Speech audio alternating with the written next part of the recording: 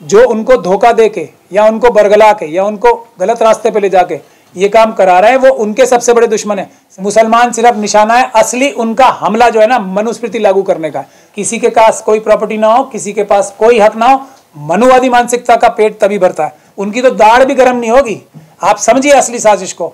असली निशाना शेड्यूल का शेड्यूल ट्राइब ओबीसी है। ये जो मनुवादी मानसिकता का, आरएसएस का एक जो आतंकवादी था उन्होंने ही एनएसए लगाई ना? जो जहांगीरपुरी में हुआ, वही तो बिहार शरीफ में हुआ है। उसके सारे सबूत मौजूद हैं। पानी हो जाएगा, ये आरएसएस बीजेपी वाले आतंकवादी संगठन घोषित हो जाएँगे। फिर हम इनके चाइना और पाकिस्तान से लिंक जो है, वो एक्सपोज हो जाएँगे। सबसे ज़्यादा नुकसान मैं क्या कह रहा हूँ? नीतीश कुमार जी का हो रहा है और लालू यादव जी के बेटे तेजस्वी यादव जी का हो रहा है। इस वक्त बिहार में जो ये हो रहा है।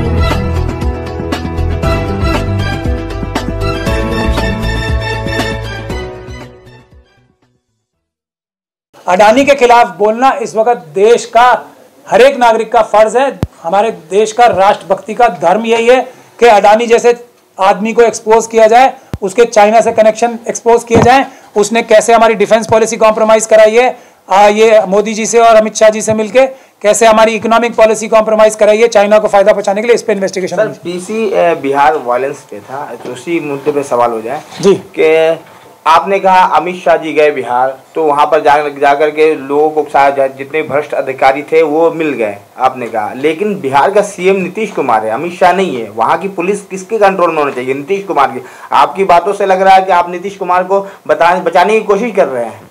मैं बिल्कुल सही सही लग रहा है आपको मैं गलत नहीं कह रहा हूँ। ये बिल्कुल मैं यही कोशिश कर रहा हूँ। उनको जवाब भी नहीं है वो जवाब नहीं दे सकते जवाब भी है ना उनको उनकी तो जवाब भी बनती है ना मैं- क्योंकि मदरसे जलाए गए हैं कुरान जलाया गया है या एक एक समुदाय का भावना आहत हुई है तो कम से कम जवाब भी तो बनता है वहाँ पर जाते वहाँ पर वहाँ पर गए तक नहीं है।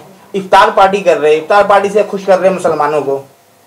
देखिए इसीलिए मैंने आपसे कहा है ना पहला काम हमारा क्या है? हम अम्बेडकरवादी हैं हमारी तो कोई राजनीति से मतलब नहीं है।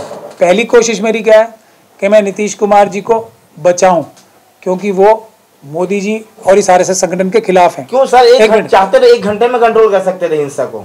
सीएम है बिहार का सीएम है। जो सेकुलर स्टेट माना जाता है। मैं जवाब दे रहा हूँ, मैं दे रहा ही। है। मैं दे रहा हूँ। एक हमारा फ़र्ज़ है जो हम निभा रहे हैं उनको बता रहे हैं कि उनके अफसर जो है उनके चारों तरफ़ वो उनको गुमराह कर रहे हैं उनसे ऐसा काम करा रहे हैं जो उनके ही खिलाफ जाएगा। अगर वो नहीं समझते तो हम तो दिल्ली में ये काम कर रहे हैं ना पुलिस ऑफिसर और सरकारी अफसर और अमित शाह जी के खिलाफ खुद हमने मुकदमा कर रखा है। दिल्ली दंगों का कपिल मिश्रा के खिलाफ नंदकिशोर गुर्जर के तो हम नीतीश कुमार जी का भी नंबर आ जाएगा फिर। हम सच्चाई की राह से पीछे हटने वाले नहीं है लेकिन लेकिन हमारा फ़र्ज़ है कि हम उनको चेताएँ उन मैंने कहा है ना अब उनको सारे सबूत चाहिए तो मेरे पास है ले लें। लेकिन अगर वो फिर भी नहीं करते तो हम इंसाफ के रास्ते से पीछे नहीं हटेंगे।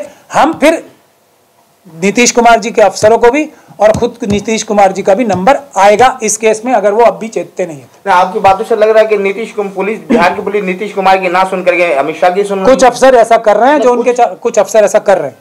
कुछ अफसर ऐसा कर रहे हैं मैं सबूत इकट्ठे करके लाया हूँ।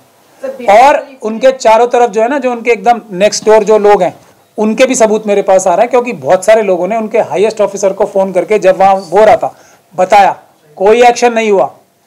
जैसे जाफरी साहब थे ना वो गुजरात में? उन्होंने चीफ सेक्रेटरी नरेंद्र मोदी जी यहाँ, अहमद पटेल साहब को दिल्ली में सबको फ़ोन करके बोला था, लेकिन वो नहीं रुका था, ऐसा ही कुछ यहाँ भी हुआ है, मैं सबूत इकट्ठे कर लिए मैंने। मैं इसीलिए बता रहा हूँ कि मैं आराम से, मेरा पहला कर्तव्य मैं कोई दूसरे लोगों की तरह नहीं हूँ जो मना करूँगा। मैं बिल्कुल पूरी ताकत लगाना चाहता हूँ कि नीतीश कुमार जी की मदद हो और जो असली मुजरिम है, जो उनको धोखा दे के या उनको बरगला के या उनको गलत रास्ते पे ले जाके ये काम करा रहे हैं वो उनके सबसे बड़े दुश्मन है। सरकार चली जाएगी और प्रधानमंत्री नहीं बन पाएँगे जो हम सब लोग भी चाहते हैं कि कोई ऑपोजिशन का व्यक्ति प्रधानमंत्री बने। हम तो दिल से मैं खुल के बोल रहा हूँ मैं उनकी मदद करना चाहता हूँ। पर तमाम लेकिन अगर वो नहीं करेंगे तो फिर हमारी मजबूरी होगी। हम उनके खिलाफ भी जाएँगे लेकिन सच्चाई का सास्ता नहीं। सर यही दूसरे राज्यों में जहाँ बीजेपी की सरकार है अगर वहाँ पर बिहार जैसा हिंसा अगर होता जिस तरीके से मदरसा जलाया गया मस्जिद मस्जिदों को तोड़फोड़ किया गया जिस तरह कुरान जलाया गया है तो ये जितने सेकुलर नाम निहाज सेकुलर पार्टियाँ जिनका नाम ले रहे हैं आप इनके पेट में उबाल आ जाता है दर्द होने लगता है और ये लोग बिल्कुल सड़कों पे उतर आते हैं। लेकिन अभी खामोशी इख्तियार किए हुए अभी खामोश इस- तो क्या दर्शाता है ये बताइए भरोसा किस पर करे? मैं मैं इसीलिए कह रहा हूँ ना। कहीं मुसलमान जलाया जाता है कहीं उनकी हदीसों कुरान को जलाया जाता है। मुसलमान ही नहीं S C S T O B C दूसरे माइनॉरिटी के लोग अपनी लीडरशिप जितनी जल्दी बदलेंगे उतने ज़्यादा भरोसेमंद लोग आएँगे। ये मैं एक बार नहीं बीस बार कह चुका हूँ। लेकिन जो आज के हालात हैं उसमें हमें किसी प्रकार से जो देश को खत्म करने के लिए एक साजिश चल रही है उसको रोकना है। साथ के साथ इंसाफ की लड़ाई भी लड़नी है। दोनों में से दोनों में से एक सेकंड दोनों में से कोई भी चीज़ कॉम्प्रोमाइज नहीं होने देंगे हम। देश को खत्म करने के लिए नहीं। मुसलमानों से ज़्यादा वो देश के दुश्मन है। आप समझ लीजिए इस बात को। जब तक हम इस बात को नहीं समझेंगे मुसलमान सिर्फ़ निशाना है असली उनका हमला जो है ना मनुस्मृति लागू करने का मनुस्मृति में किसका नुकसान होगा वो बता दीजिए आप मुझे। सबसे ज़्यादा नुकसान किसका होगा? शुरू से तो मुसलमानों का नुकसान होता हुआ आया है। मनुस्मृति से मनुस्मृति से किसका? इसके लिए तो मनुस्मृति आज तक इतनी मज़बूत है। इसके लिए तो जो हमारे सो कॉल्ड मुस्लिम रूलर्स रहे 800 साल तक वो भी जिम्मेदार है ना। एक फरमान से खत्म कर देते। मनुस्मृति सबसे बड़ी दुश्मन है शेड्यूल कास्ट शेड्यूल ट्राइब की ओबीसी की। तो मनुस्मृति की जो मानसिकता है, वो उसकी दुश्मन है। तो मुसलमान तो एक बहाना बने हुए ना अच्छा पाकिस्तान भी इसलिए बनवाया था कि मुसलमानों को बहाना बना के मनुस्मृति लागू कराई जाए। हिंदू राष्ट्र बना जाए ट्वेंटी ट्वेंटी जो ट्वेंटी का मिशन क्या है उनका?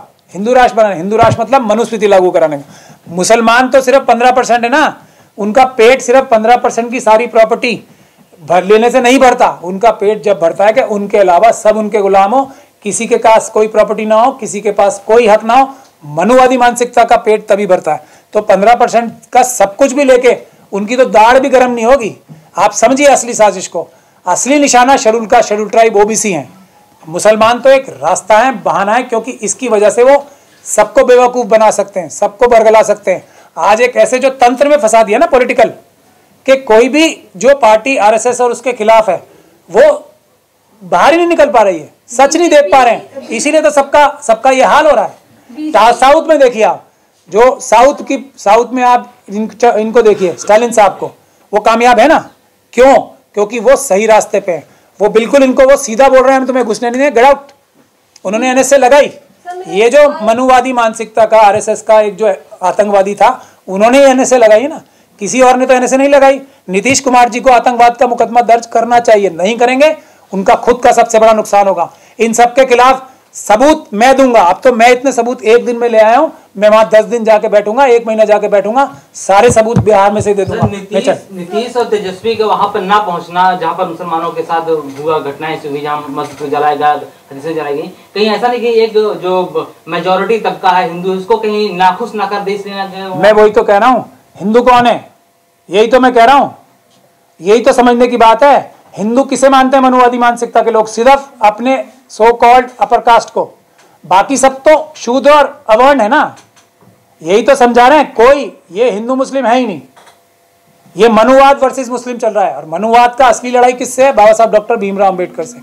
ये अलग बात है कि उनका निशाना, मनुवाद का निशाना मुसलमानों के लिए इसलिए कि इसको वो अच्छी तरह से ट्विस्ट करके बाकी सब लोगों को इकट्ठा कर सकते हैं, बाकी सब लोगों की भावनाएँ भड़का सकते हैं, झूठी अपनी धोखाधड़ी से फ्रॉड से। असली नुकसान तो नीतीश कुमार पर कटाक्ष करते हुए ये कह रही है कि रामनवमी पर जो भी हुआ आप उदाहरण योगी जी का देख सकते हैं कि राम राज चल रहा है अब तो सभी को सबूत मिल गया।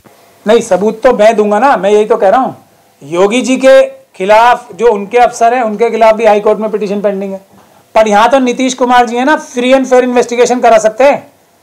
जो ना जो जहांगीरपुरी में हुआ वही तो बिहार शरीफ में हुआ है उसके सारे सबूत मौजूद हैं।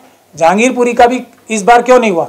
क्योंकि हमने वो आतंकवाद की घटना की दिल्ली पुलिस के अधिकारियों समेत नाम लिख के करा रखी है ना कंप्लेंट। उसके बाद ही तो इन्होंने इस बार ठीक किया है। तो आज तक ना दिल्ली दंगों के केसेस आप आके मेरे साथ स्टडी कीजिए, कोई भी मैं आपको दावत देता हूँ। उसमें यह साजिश शामिल साबित हो रही है ना कि पुलिस के अधिकारी मिले हुए थे, जो मुस्लिम कम्युनिटी के जो कंप्लेंट्स थी वो लिए ही नहीं गई झूठी कंप्लेंट्स भी थी, जो दूसरे पक्ष से दी गई थी, उसको सच्चा बना के पेश किया गया। खुद मुसलमानों को मारने के लिए जो मुसलमानों को ही मुलजिम बना दिया ये जो पुलिस की कार्रवाई है यही तो मैं नीतीश कुमार जी को कह रहा हूँ। ईमानदार अफसर भेजिए दो मिनट में दूध का दूध पानी का पानी हो जाएगा। ये आरएसएस बीजेपी वाले आतंकवादी संगठन घोषित हो जाएँगे। फिर हम इनके चाइना और पाकिस्तान से लिंक जो है वो एक्सपोज हो जाएँगे। एक इन्वेस्टिगेशन शुरू तो कराएँ यूएपीए की। जब भी चुनाव चुनाव नियुक्त करता है उससे पहले सारे वोटर ढूंढ लिए जाते हैं कि कौन कहाँ है। ऐसे कैसे एडमिनिस्ट्रेशन से या राज्य की सरकार से ही छुपा है कि कहाँ पर कौन से घर है? घर उनको चिन्हित कर करके जलाया जा रहा है तो उसमें द्वेष दिखाई दे रहा साफ़ तौर पर। अभी से राज्य की सरकार या केंद्र सरकार या जो एडमिनिस्ट्रेशन है, उसे क्यों ज़िम्मेदारी लेने से बच रहा है? लॉजिकली चले हम? सबसे ज़्यादा नुकसान इसका किसको होने वाला है? लॉजिकल तो यही है ना। कोई व्यक्ति खुद अपना नुकसान क्यों करेगा? कोई पार्टी खुद अपना नुकसान क्यों करेगी? तब तक नहीं करेगी, जब तक उसके चारों तरफ़ पैसे से खरीदे हुए या आइडियोलॉजी से खरीदे हुए या डराए हुए लोग प्लांट करके लीडर को मिसगाइड नहीं करेंगे सबसे ज़्यादा नुकसान मैं क्या कह रहा हूँ? नीतीश कुमार जी का हो रहा है और लालू यादव जी के बेटे तेजस्वी यादव जी का हो रहा है। इस वक्त बिहार में जो हो रहा है। हम क्या कह रहे हैं? मैं कह रहा हूँ मुसलमानों के पक्ष में इन्वेस्टिगेशन बिल्कुल नहीं होनी चाहिए। निष्पक्ष इन्वेस्टिगेशन होनी चाहिए और उसमें यह साफ़ निकल के आएगा कि ये लोग विदेशी ताकतों के हाथ मिलके ये देश को तोड़ने की कोशिश कर रहे हैं। फिर आपको नज़र आएगा ना कि क्या है हिंदू राष्ट्र? तब उसके बाद एक ही इन्वेस्टिगेशन से पूरा देश जो है साफ़ हो जाएगा, संविधान बच जाएगा, देश बच जाएगा। अब इसका सबसे ज़्यादा फ़ायदा नुकसान किसको होगा? ये नीतीश कुमार जी और बाकी लोगों को छोड़ना है।